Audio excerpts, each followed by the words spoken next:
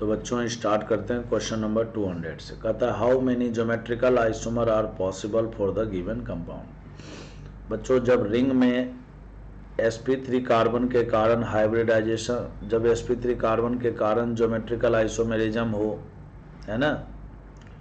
और रिंग में तीन या तीन से अधिक sp3 कार्बन प्रेजेंट हो, ऐसे जिन पर लगे हुए ग्रुप डिफरेंट हो, तब वहाँ पर G I number of G आई जो है फॉर्मूला से नहीं निकालते हैं। फिर हम वहाँ वहाँ पर बच्चों में स्ट्रक्चर बनाने पड़ते हैं। तो जैसे देखिए, तीन ग्रुप है।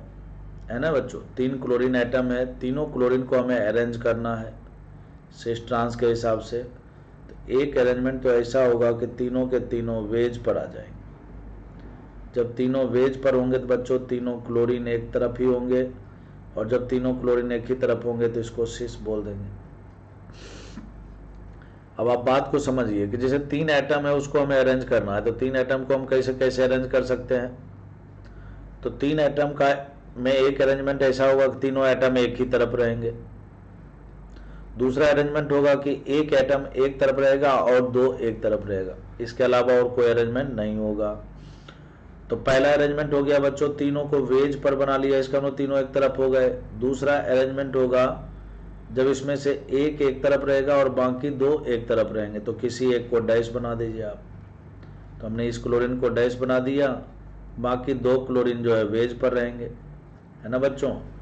जैसे हमने ऐसा किया तो सारे के सारे आइडेंटिकल ग्रुप एक ही तरफ़ नहीं रहे तो इसलिए ये ट्रांस हो गया। तो एक सिस हो गया और एक ट्रांस हो गया तो उस हिसाब से इसका आंसर सी हो जाएगा। इसी में बच्चों, जैसे मान लो कि ये तीनों के तीनों डिफरेंट होते क्लोरीन ब्रोमीन आयोडीन होते डिफरेंट होते, है ना? तो फिर ट्रांस तीन बनते, तीन प्रकार से ट्रांस बनते। एक क्लोरीन एक बार क्लोरीन डैश पर जाएगा, एक बार ब्रोमीन डैश पर जाएगा, एक बार आयोडीन डैश पर जाएगा। समझ लो बात को? लेकिन जब तीनों आइडेंटिकल एटम है तो वैसी स्थिति में तीनों में से किसी को भी आप डैश पर भेजो, बात तो एक ही होगी, ठीक है ना? तो ये दो केस होता है, इसमें बहुत इंपॉर्टेंट है। अगर तीनों आइडेंटिकल हुए तो ट्रांस एक ही बनेगा और तीनों डिफरेंट हुए तो ट्रांस बच्चों तीन बनेंगे, ठीक है ना? तीनों से एक एक बार डैश बनाने पड़ेंगे। अब हम बात करेंगे बच्चों question number two zero one कहता है हाउ मेनी ज्योमेट्रिकल आइसोमर सबसे पहले मोलिकुलर फॉर्मूला सबसे पहले देखिए कंपाउंड कैसा है बच्चों? अनसिमेट्रिकल है। कैसा है बच्चों? अनसिमेट्रिकल है। अब देखिए अनसिमेट्रिकल है, अब हमें देखना है जीआई कहाँ कहाँ होगा, क्या इस वाले क्यूमुलिन देखिए डबल बोन लगातार होता है, उसको क्यूमुलिन बोलते हैं। बोलते हैं ना क्यूमुलिन दो प्रकार का होता है इवेन और ऑड क्यूमुलिन ये इवेन क्यूमुलिन है तो यहाँ पर कोई जीआई नहीं होगा। ये वाले डबल बोन में बच्चों जीआई होगा तो ऐसे कितने डबल बोन या ऐसे कितने साइट मिले जहाँ पर जीआई हो रहा है? केवल एक ही साइट ऐसा है बच्चों। एन इक्वल टू वन हो गया। तो नंबर ऑफ़ जीआई का फॉर्मूला होता है नंबर ऑफ़ जीआई का फॉर्मूला होता है two two the power n बोले तो two two the power one two लगा दीजिए आंसर हो जाएगा C question number two zero two में फिर से वही बात मोलिक्यूल जो है बच्चों कैसा है? मोलिक्यूल है अनसिमेट्रिकल मोलिक्यूल कैसा है बच्चों? अनसिमेट्रिकल कैसे? C H three C H three यहाँ देखिए सी एच सी एच बच्चों, अगले में फिर से कार्बन यहाँ पर डबल बोन कार्बन जबकि यहाँ पर सी एच है। लेफ़्ट से और राइट से दोनों तरफ़ से आइडेंटिकल नहीं अनसिमेट्रिकल है। वन टू थ्री और फोर बच्चों, यहाँ से यहाँ तक ये क्यूमुलिन है. यहाँ से यहाँ तक क्या है ये? क्यूमुलिन है और क्यूमुलिन में भी कैसा है बच्चों? फिर से ये इवेन क्यूमुलिन है. इवन क्यूमुलिन है और इवन क्यूमुलिन में बच्चों जीआई नहीं होता. वन टू थ्री फोर लगातार डबल बोन की संख्या फोर है. इवेन नंबर में है तो यहाँ पर जीआई नहीं होगा. जीआई केवल इस डबल बोन में होगा. तो इसलिए नंबर ऑफ़ साइड केवल एक ही है जहाँ पर जीआई हो रहा है. ठीक है ना बच्चों? तो मोलिक्यूल अनसिमेट्रिकल है एन इक्वल टू वन हो गया तो two two the power n वाला फॉर्मूला लगाओगे तो टू आंसर हो जाएगा आंसर होगा B question number two zero three में बच्चों कहता है कि कौन सा कंपाउंड है जिसमें जीआई नहीं होगा? जैसा कि बच्चों, हमें कंपाउंड दिख रहा है साइक्लिक आपको पता है साइक्लिक कंपाउंड में जीआई दो कारण से होता है. रिंग में जीआई दो कारण से होता है। एक तो रिंग में डबल बोन प्रेजेंट हो, तब जीआई होता है, और दूसरा बच्चों रिंग में sp3 कार्बन प्रेजेंट हो, दो sp3 कम से कम ऐसे प्रेजेंट हो जिन पर लगे हुए ग्रुप डिफरेंट हो, तब होता है। यहाँ बच्चों, रिंग के अंदर डबल बोन तो है नहीं तो डबल बोन के कारण तो कोई जीआई नहीं होगा। तो फिर किसके कारण? हो सकता है sp3 के कारण हो सकता है। अगर आपसे पूछूँ कि कितने sp3 हैं इसमें तो sp3 कार्बन तो बच्चों छह हैं। लेकिन क्या कोई sp3 ऐसा है? दो sp3 ऐसे हैं जिस पर लगे हुए ग्रुप डिफरेंट है बच्चों? तो यहाँ पर देखिए, ये sp3 जो है ना, इस पर देखिए, दोनों ग्रुप डिफरेंट है क्लोरीन मिथाइल है, लेकिन यहाँ पर देखिए, दोनों के दोनों हाइड्रोजन है, दोनों आइडेंटिकल ग्रुप है। तो सारे, बाकी सारे sp3 कार्बन पर आइडेंटिकल ग्रुप है। यहाँ देखिए बच्चों, एक हाइड्रोजन एक क्लोरीन है, लेकिन यहाँ पर देखिए, दोनों मिथाइल है और बाकी सब पर भी आइडेंटिकल है। यहाँ एक हाइड्रोजन एक मिथाइल है और बाकी सारे कार्बन पर आइडेंटिकल ग्रुप है। कहने का मतलब यह है कि रिंग में कम से कम दो sp3 कार्बन ऐसे होने चाहिए, जिन पर लगे हुए ग्रुप क्या हो बच्चों? डिफरेंट हो, लेकिन यहाँ पर यहाँ पर सभी रिंग में केवल एक ही sp3 कार्बन ऐसा है जिस पर लगे हुए ग्रुप डिफरेंट है, इसलिए किसी में भी जीआई नहीं होगा। तो इसका करेक्ट आंसर हो जाएगा डी कहता है नोट सो जी आई तो डी हो जाएगा, किसी में भी नहीं होगा। Question number two zero four अब टू ज़ीरो फोर जो है बच्चों रिंग में सबसे पहले पता कीजिए इस कंपाउंड में जीआई होगा क्या? बिल्कुल होगा। क्यों? क्योंकि रिंग में छह sp3 कार्बन ऐसे हैं जिन पर लगे हुए ग्रुप डिफरेंट है। ठीक है ना बच्चों? अब छह sp3 कार्बन है जिस पर लगे हुए ग्रुप डिफरेंट हैं तो अब जी आई जोमेट्रिकल आइसोमर हमें बनाने पड़ेंगे। और अभी मैंने बताया था आपको, जब भी रिंग में sp3 कार्बन के कारण जी आई हो, और रिंग में तीन या तीन से अधिक sp3 कार्बन हो बच्चों तो वहाँ पर फॉर्मूला अप्लाई नहीं करते, हमें स्ट्रक्चर बनाना पड़ता है। तो स्ट्रक्चर बनाने से पहले, बोले तो इसके आइसोमर वाले स्ट्रक्चर बनाने से पहले आपको स्ट्रेटजी समझनी पड़ेगी क्या क्या होगा। जैसे देखिए, छह मिथाइल है बच्चों, छह मिथाइल को हमें अरेंज करना है वेज डेज़ के हिसाब से। तो एक अरेंजमेंट ऐसा होगा जब सारे के सारे वेज पर होंगे, एक ही तरफ़ होंगे। दूसरा अरेंजमेंट होगा, पाँच एक तरफ़ होंगे, एक एक तरफ़ होंगे। तीसरा अरेंजमेंट होगा, चार एक तरफ़ होंगे, दो एक तरफ़ होंगे। है ना बच्चों? और अगला अरेंजमेंट होगा तीन एक तरफ़ और तीन एक तरफ़। इस तरह से बहुत सारे अरेंजमेंट होंगे। तो जब सारे एक तरफ़ होंगे तो सारे को वेज पर बना दो। दूसरा, जब पाँच एक तरफ़ और एक एक तरफ़ तो एक को डैश कर देना। फिर बच्चों, चार एक तरफ़, दो एक तरफ़ तो दो को डैश करना। अब फिर हम देखेंगे दो को डैश कैसे कैसे बना सकते हैं।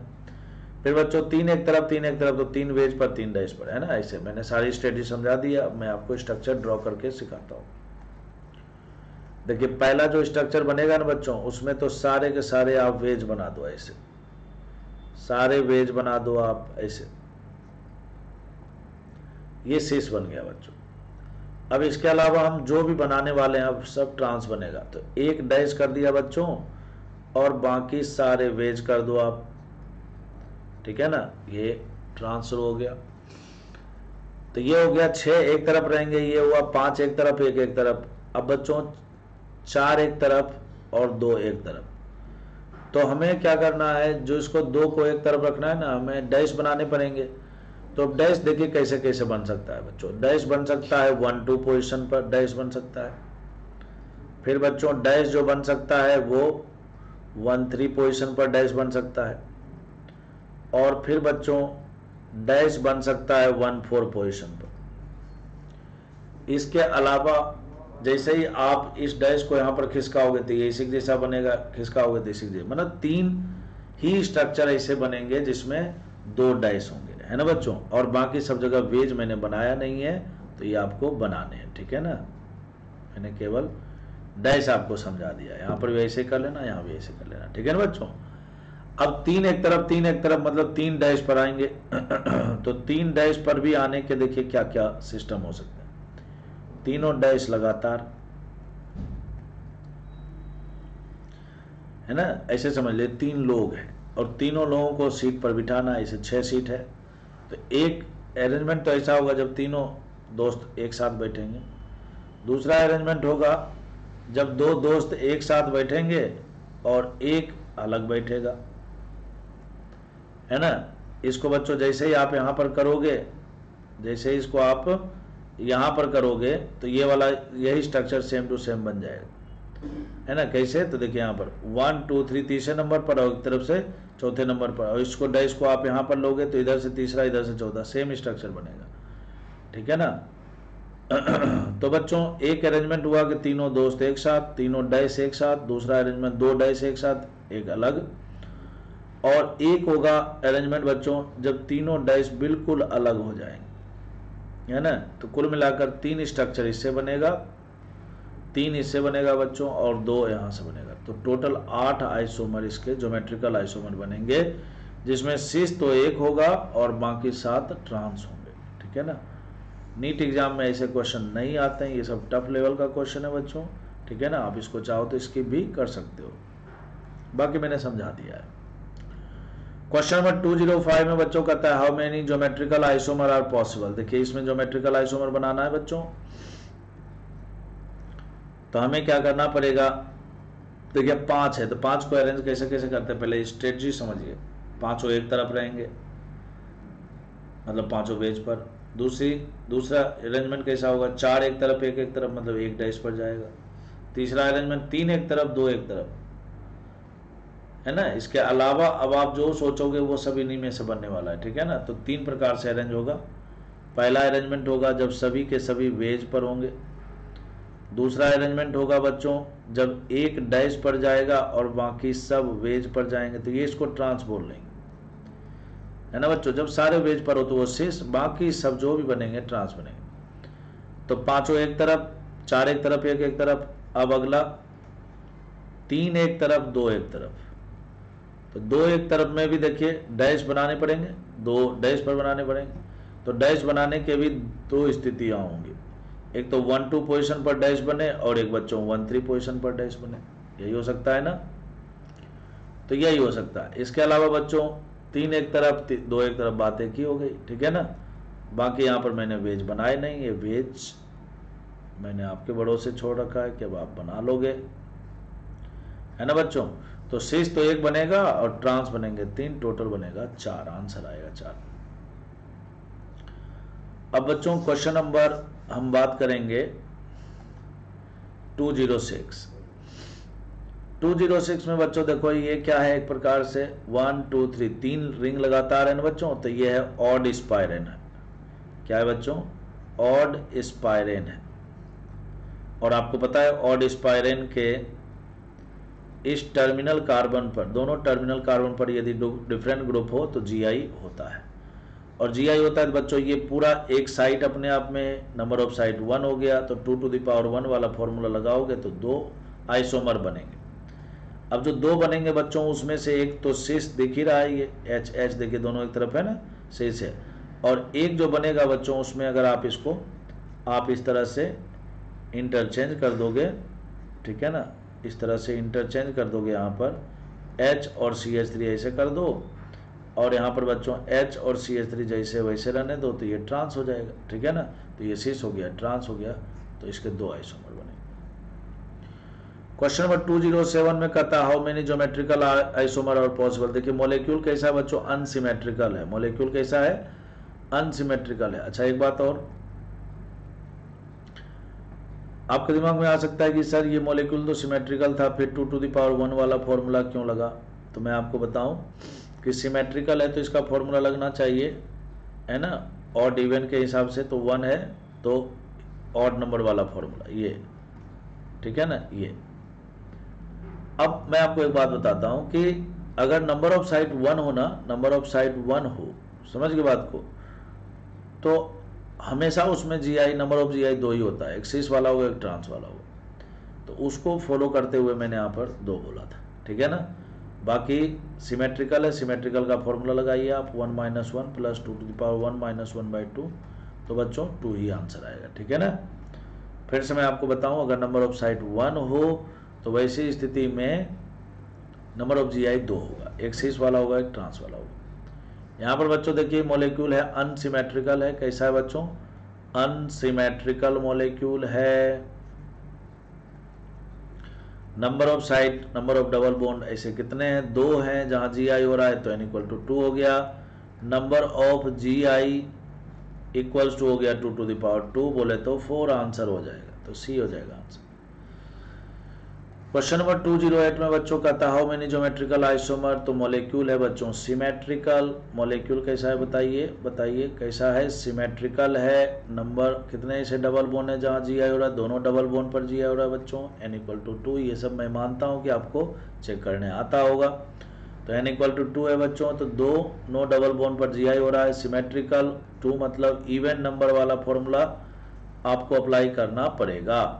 ध्यान बच्चों नंबर ऑफ़ जी आई का जो फॉर्मूला होता है, वो होता है two two the power n minus one plus का two two the power n by two minus one तो two two the power two minus one plus two by two minus one इसको जब आप कैलकुलेट करोगे बच्चों तो three आ जाएगा answer तो ये हो जाएगा, ठीक है ना?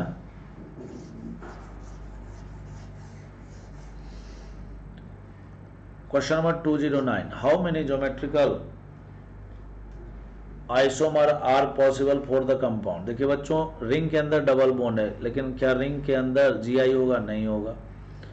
रिंग के अंदर sp3 कार्बन भी है, लेकिन एक ही sp3 कार्बन है जहाँ पर जीआई हो रहा है। एक ही sp3 कार्बन है जहाँ पर जी आई सॉरी एक ही sp3 कार्बन है जहाँ पर ग्रुप डिफरेंट है। तो ये भी नहीं होगा बच्चों। तो अब हमें मतलब रिंग के कारण जी आई नहीं होगा। कुल मिलाकर बात यह रिंग के कारण जी आई नहीं होगा। तो किसके कारण होगा? इस सी डबल बॉन्ड सी के कारण जी आई होगा, क्या बच्चों? बिल्कुल होगा। यहाँ पर देखिए, एक एच एक मिथाइल है। यहाँ पर एक एच है और ये रिंग है, दोनों ग्रुप डिफरेंट है जी आई होगा। मोलिक्यूल कैसा है बच्चों? अनसीमेट्रिकल है।